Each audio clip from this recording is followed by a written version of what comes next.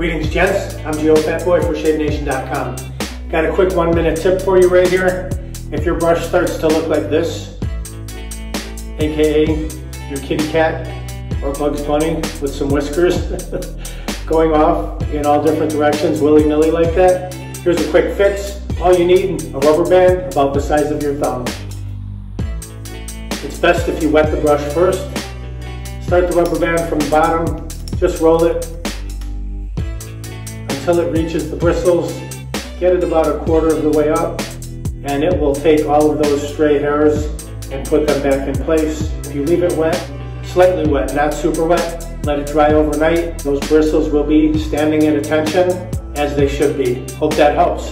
Visit ShaveNation.com for all your shaving supplies.